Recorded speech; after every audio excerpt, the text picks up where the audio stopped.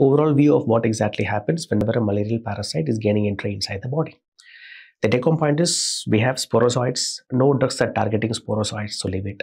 We have merozoites, hypnozoites, gametocytes, three major targets which we have currently as per pharmacology is concerned.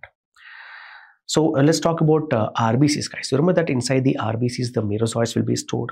Consider here is where the RBCs are. Inside the RBCs is where your merozoites. And inside the merozoites, because these are all just uh, parasites buddy. So it will not be having any pre-filled or uh, pre-synthesized enzymes. Very minimal amount of enzymes or proteins will be there. It is primarily dependent on the environment. Here the environment itself is rbcs so it will be having a just a big food vacuole will be there inside it. So what are these three different areas? This is your red blood cells and we have this merozoites and we have food vacuoles. These are the food vacuoles. Now what happens, these uh, uh, merozoites will be taking up hemoglobin from the RBCs into the food vacuole. Even though it is utilizing multiple different mechanisms of energy production. One of the mechanisms is hemoglobin's intake. Right? So hemoglobin is going to be taken up inside the merozoites with the help of a protein called as Kelch protein with the help of a protein called as Kelch protein. This Kelch protein will be there on the surface of the merozoites, on the surface of the parasites responsible for hemoglobin's uptake.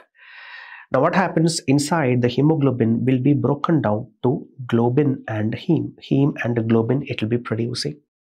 Globin will be utilized as a protein source by the merozoites for further replication and proliferation but heme, when it is accumulated there, it behaves as a waste product.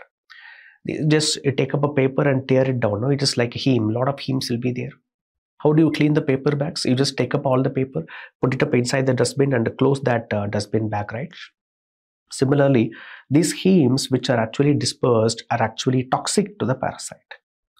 These are toxic to the parasite. So what the parasite does, it will take up all the heme, join it together to form an inactive component called as hemozoin. This hemozoin is a non-toxic metabolite. As it is taking up heme, multiple heme together and combining it together, this enzyme which is involved here is called as heme polymerase enzyme. The enzyme which is involved for this particular process is called as heme polymerase enzyme.